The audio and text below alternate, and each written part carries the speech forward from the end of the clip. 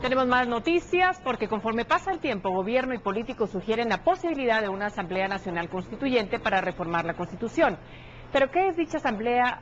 Vamos a continuación a explorar cómo funcionaría y sus alcances para cambiar la Carta Magna.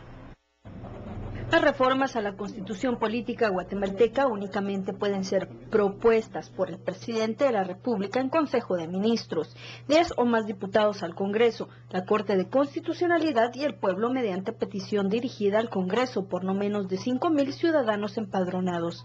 Pero esas peticiones hechas por esta vía han estado por años bajo discusión.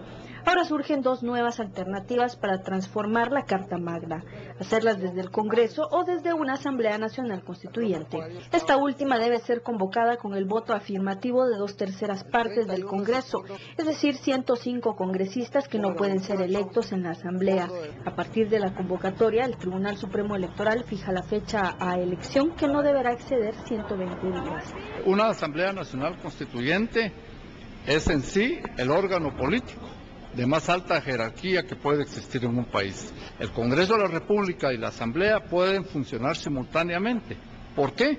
porque el Congreso se dedica a los temas ordinarios de legislación y la Asamblea Nacional Constituyente al tema meramente constitucional. Pero la Asamblea no tiene potestad para modificar totalmente la Constitución, sino solo referente a los derechos humanos, pues la organización del Estado compete al Congreso que deberá tener el visto bueno de la población en una consulta popular. Aún así, hay artículos pétreos o intocables como el de la prohibición de reelección.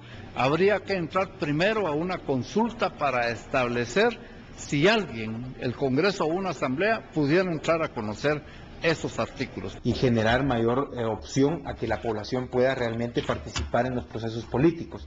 Y esto requiere la, reforma de la ley electoral y de partidos políticos de forma profunda. Según los expertos, es que sea cual sea la modificación que se pretenda hacer a la Constitución y de la manera en la cual se haga debe ser socializada con los guatemaltecos para evitar cualquier tipo de falsas percepciones al respecto. Asimismo, que se respete el espíritu de la ley en cuanto a la reelección presidencial y la alternabilidad en el poder por una Guatemala en paz, Gladys Ramírez y Luis Che.